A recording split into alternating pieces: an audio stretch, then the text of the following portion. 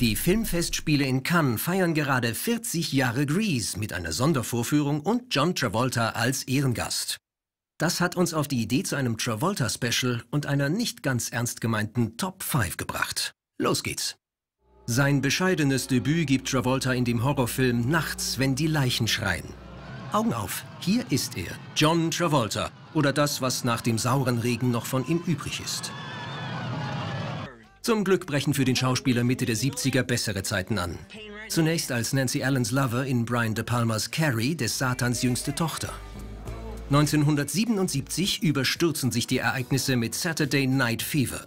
John Travolta als König der Föhnwelle und der Panzerkette. Vor allem aber als König der Tanzfläche und Auslöser eines neuen Kults. Diesen setzt ein Jahr später der Erfolg von Grease fort, indem er mit Olivia Newton-John ein legendäres Duo bildet. Mehr künstlerischen Anspruch hat Blowout, der Tod löscht alle Spuren von Brian De Palma. John Travolta nimmt auf, hört ab, schneidet, spult, synchronisiert und findet das hier. Great. Blowout ist der vorläufige Höhepunkt von Travoltas Karriere und hätte ihm gute Kritiken und Oscars bescheren können. Aber De Palmas Film floppt beim Publikum und die Maschinerie gerät ins Stocken. Staying Alive, die Fortsetzung von Saturday Night Fever, will nicht so recht überzeugen. Genauso wenig wie der gar nicht so üble Perfect mit Jamie Lee Curtis. Für Travolta folgt eine fast zehn Jahre lange Durststrecke. Erst 1994 stellt sich mit Quentin Tarantinos Pulp Fiction und einer berühmten Tanzszene mit Uma Thurman der Kultfaktor wieder ein.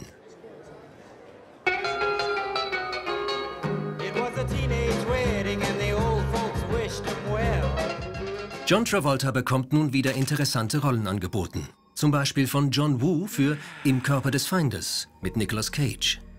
I don't know what I hate wearing worse. Your face or your body. Oder von Nick Cassavetes, der John Travolta in Alles aus Liebe als biederen Familienvater mit Robin Wright als Ehefrau besetzt. Schräge Auftritte gibt es aber auch. Hier in Old Dogs, Daddy oder Deal mit Robin Williams. Im Laufe seiner Karriere, die einer Achterbahnfahrt gleicht, hat der Schauspieler ein gewisses Talent oder Gespür für schlimme Looks entwickelt, was uns ziemlich gut gefällt. In den vergangenen 40 Jahren hat sich John Travolta mal als Biker mit Bandana gezeigt, in Born to be Wild, saumäßig unterwegs. I noticed that. And if you ever lay your head on my back again when you're riding, bitch, I'll you in the traffic. Mal als weißhaariger Literaturprofessor an der Seite von Scarlett Johansson in Love Song für Bobby Long. Sehr kleidsam ist aber auch dieser Schnauzer in Terence Malicks Der schmale Grat. Oder dieses Ziegenbärtchen in Passwort Swordfish. Aber auch dieses üppigere Bartmodell als Bosnien-Veteran in Killing Season. Oder dieser Spitzbart samt Ohrringen und rasiertem Schädel in From Paris with Love. Bei so vielen haarigen Eskapaden haben wir uns ein Ranking überlegt, das sich gewaschen hat. On, baby, Hier kommt also unsere traditionelle und völlig subjektive Top 5 der schlimmsten Looks von John Travolta. Jedenfalls für uns.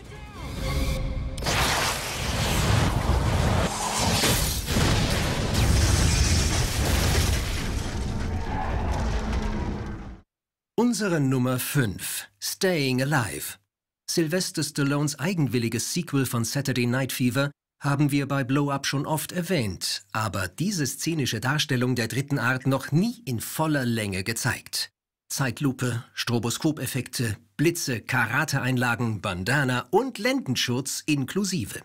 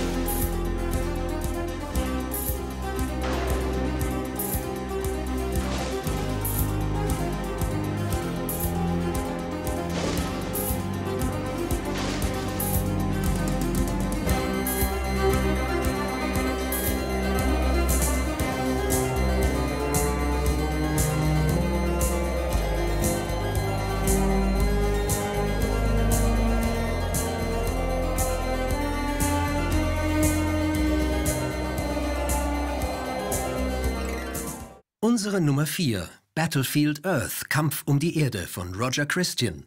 Nach der Romanvorlage von Scientology-Gründer L. Ron Hubbard. Im Jahr 3000 ist die Menschheit vom Aussterben bedroht und John Travolta spielt den Boss der Cyclos, einen Fiesling mit unbeschreiblichem Look. Who is responsible for allowing this man animal to run around unsupervised? The man animal shot the Wrangler, sir. I'm a little pressed for time. Why don't you save the going away jokes for later? No joke, sir, I swear. Unsere Nummer 3. John Travoltas schräge Looks dienen oft der Ernsthaftigkeit seiner Figuren, aber nicht immer. So wie am Ende des dritten Austin Powers mit seinem Auftritt als Goldständer, Inbegriff der Poesie und des guten Geschmacks. Goldmember, you under arrest, sugar. Hey, assholes! I have time for a last smoke and a pancake, or what? I am from Holland. Isn't that weird? Unsere Nummer 2. John Travolta und das Musical verbindet eine lange Geschichte.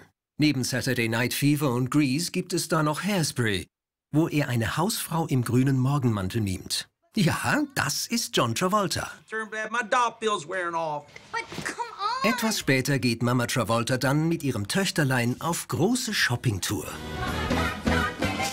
Hey, Tracy, hey, baby, look at me. I'm the cutest chickie that you ever did see. Hey, Tracy, hey, baby, look at us. Where is there a team that's half as fabulous? I let go, go, go of the past now. Say hello to this red carpet ride. Yes, I know that the world's spinning fast now. Tell Lola Brigida to step aside. Your mama's working in the 60s. Oh, oh, oh, oh,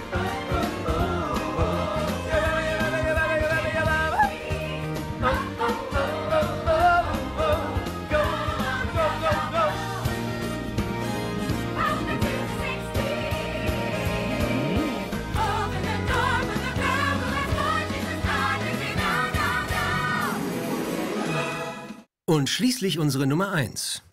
Wir wollten diese Top 5 möglichst kultig beenden. Hier kommt deshalb Quentin Tarantinos Pulp Fiction mit John Travolta und Samuel L. Jackson im legeren Freizeitdress. Cooler geht's nicht.